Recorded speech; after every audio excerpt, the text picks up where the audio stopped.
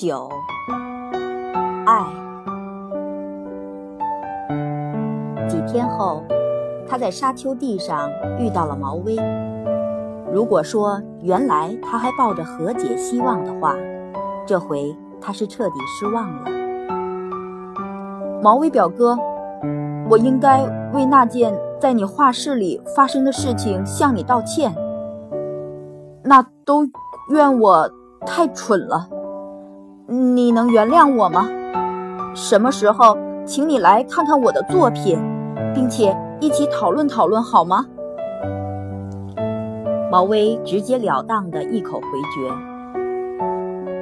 我绝不会去看你，一切都结束了。”难道你对我完全丧失了信心？是的，你品行恶劣。如果你告诉我。我做错了什么事？我一定努力改。对你的所作所为，我已经不再有什么兴趣。除了吃饭睡觉，以及像个艺术家那样工作之外，我什么事也没做。难道这就是恶劣吗？你管自己叫做艺术家吗？是的，真是荒唐！你这辈子连一幅画都没有卖出去呢。艺术家难道意味着卖？我认为，艺术家指的是一种始终在寻求，但未必一定有所收获的人。我认为它的含义与我知道它，我已经得到了它正相反。我说我是艺术家，我的意思是，我在寻求，我在奋斗，我全心全意地投身于艺术中。不管怎么说。你的品行就是恶劣。你对我有所怀疑，外面有风言风语，你认为我在隐瞒什么？文森特在隐瞒什么见不得人的勾当？你疑心什么，毛威？直说出来吧。毛威回到画板前，开始涂颜色。文森特转过身，慢慢的。从沙地上走过去了，他是对的，外面确实是有风言风语。海牙的人知道了他和克里斯汀的关系，告诉他这个消息的是德鲍克。德鲍克突然来访，他那清秀漂亮的嘴唇上挂着调皮的微笑。克里斯汀在摆姿势，所以他改用英语讲话。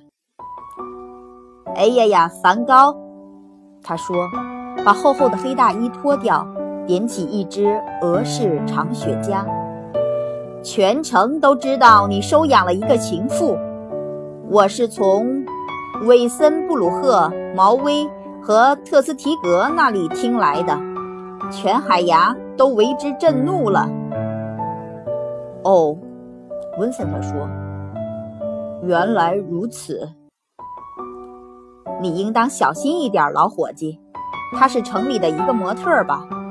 我想我认识城里所有的模特。温森特瞟一眼正在炉旁织毛衣的克里斯汀。当他坐在那里，眼睛盯着手里的活计缝制他的羊毛衫和围裙时，他身上有一种引人注目的朴实、亲切和自然的风韵。德鲍克把烟。扔到地板上，跳起身来。我的上帝！他喊着：“你该不是要告诉我，她就是你的情妇吧？”我没有情妇，德鲍克。但是我想，她就是你们在议论的那个女人。德鲍克抹去前额上的虚汗，仔细打量着克里斯汀。你他妈的怎么能跟他睡觉？你为什么问这个，亲爱的老弟？他是个母夜叉嘛，顶平常的母夜叉。你是怎么想的？怪不得特斯提格那么生气。如果你想要个情妇，为什么不在城里那些长得端正的年轻模特里挑一个呢？那样的模特。到处都有，多的是嘛。我刚才已经告诉你一次了，德鲍克，这女人不是我的情妇。那是什么？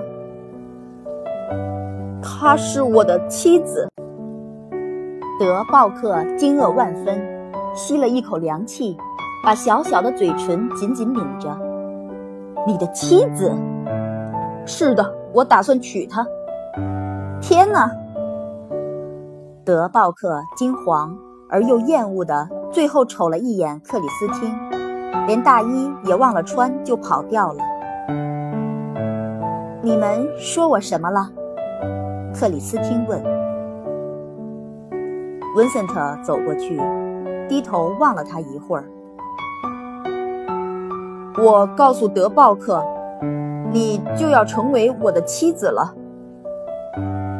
克里斯汀沉默了好久，他的手忙个不停，嘴巴微微张着，舌尖像蛇心子般的不时飞快地伸出来，湿润着那很快就变得焦干的嘴唇。你真的愿意娶我，温森特？为什么？如果我不娶你，那我还是让你独身一人更好些。我要经历一下家庭生活的忧与喜，这样才能以自身的亲身体会画出关于家庭生活的作品。我曾经爱过一个女人，克里斯汀。当我去她家时，他们告诉我她讨厌我。我的爱情是真挚而强烈的，克里斯汀。而当我离开他家时，我明白这爱情已经被扼杀了。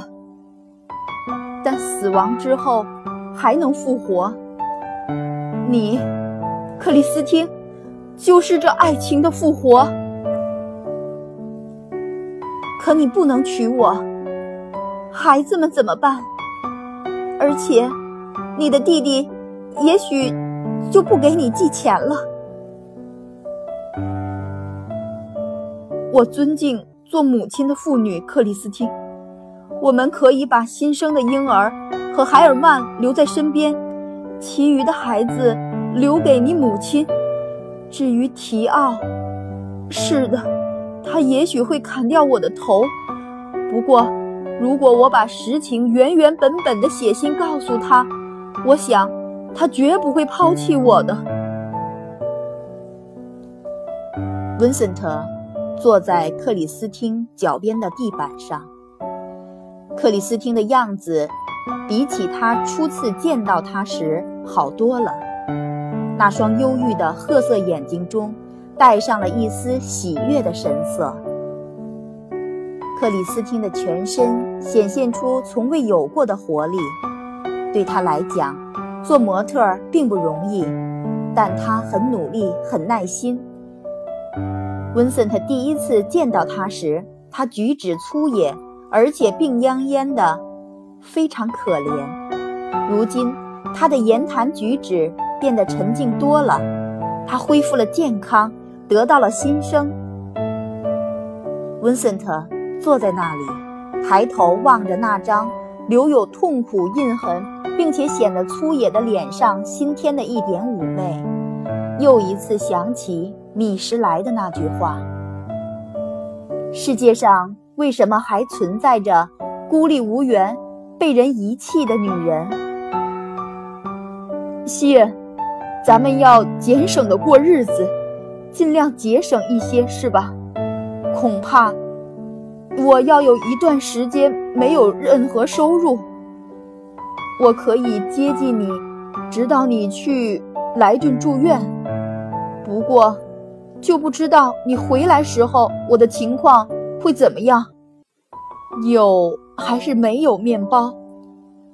然而，只要有一口饭，我就要分给你和那个孩子。克里斯汀从椅子上滑下来，坐到他身边。两手抱着他的脖子，把头靠在他的肩上。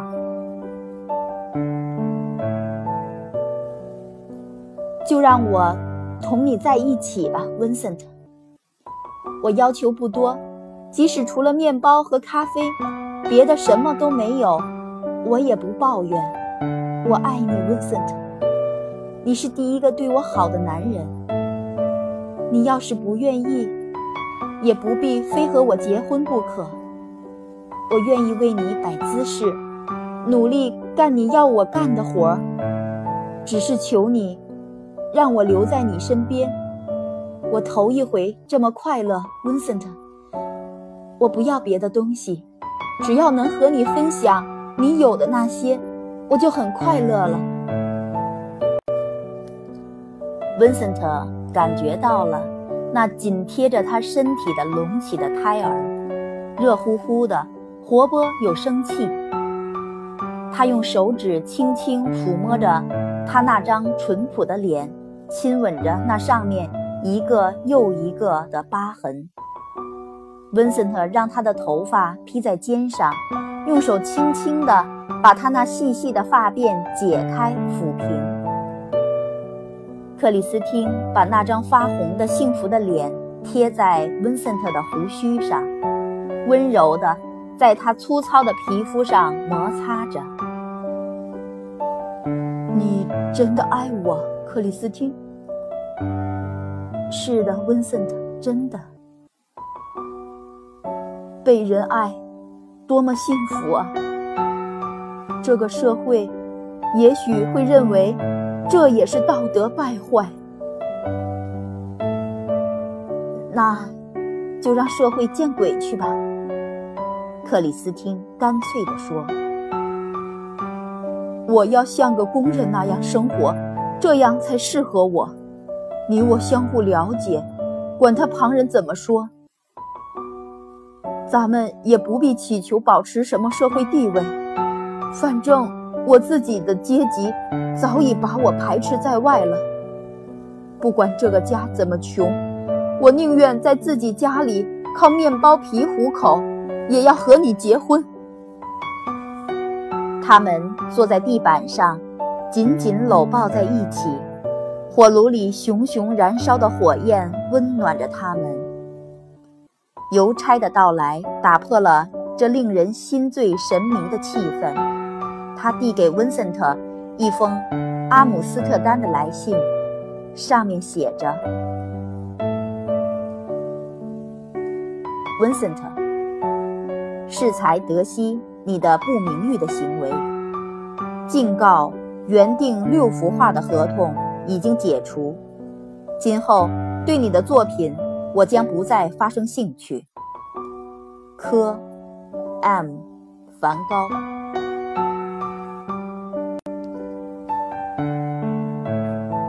温森特的整个命运全靠提奥了。除非让提奥充分理解他和克里斯汀的关系的性质，否则，提奥也会做出应当断绝这笔每月一百法郎补贴的判断的。只要温森特能工作，只要他有克里斯汀的陪伴，即便失去了老师毛威，失去了画商特斯提格，失去了家庭亲友和同行。他也还是可以维持下去的，但是，如果失去了这每个月的一百法郎，他可就无法维持了。他给弟弟写了一封充满感情的长信，说明了一切，恳求提奥谅解他，不要抛弃他。每天，他都提心吊胆的，唯恐事情落个最坏的结果。他不敢多订购绘画材料，怕将来付不起钱；也不敢着手画水彩，或者加快作画的速度。提奥提出很多反对的理由，但却没有谴责他们。他也提出了劝告，但没有暗示，如果他的劝告不被接受，他就不寄钱。在信尾。他说：“尽管他不赞成这件事，但是他请温森特放心，他还会像以前一样帮助他。”已经是五月初了，莱顿的医生告诉过克里斯汀，她的分娩时间是六月。文森特决定最好在她生下孩子之后再让她搬来同住。到那时，他希望能把隔壁的一间空房租下来。如今，克里斯汀的大半时间都在画室里度过，但他的东西还留在他母亲那里。他们打算在他的身体复原后正式结婚。文森特陪着克里斯汀到莱顿分娩，小孩从晚上九点到半夜一点还没生下来。医生只好动用手术钳，婴儿到一点也没受伤，克里斯汀可受罪不少。但他一见到温森特，就把一切痛苦都忘了。咱们很快又可以画了，他说。温森特站在那里，含着眼泪低头望着他。孩子是别的男人的。倒不要紧，这是他的妻子和婴儿啊。虽然胸口由于神经紧张而痛楚，他还是感到快乐无比。他一回到申克维格大街，就看见身为木材厂主的房东站在家门口。把另外那所房子租下来怎么样，梵高先生？每周租金才八法郎，我准备为您粉刷一新。要是您愿意，根据您的爱好选定一种壁纸，我可以去给您贴好。不必这么急，文森特说。等我妻子回家的时候，我才需要这所新房子。不过，我必须先写信告诉我弟弟。好吧。我还是要贴上壁纸，所以，请您选定最喜欢的一种，即使您不租这房子也没关系。提奥几个月前就听说隔壁的这所房子了，这房子要大得多，有工作室、起居室、厨房、套间和顶楼的卧室。虽然这所房子。比旧房子每周要多收四个法郎，但是由于克里斯汀、海尔曼和新生的婴儿全都得来申克维格住，他们是需要扩房的。提奥回信说他又提了薪，所以温森特渴望每月收到一百五十个法郎。温森特立即把新房子租了下来。克里斯汀过一个星期就要回家了，他希望他一到家就有一个温暖舒适的住所。木材厂主从厂里抽了两个人借给他，帮助他把家具从隔壁搬入新居。克里斯汀的母亲也来帮忙收拾。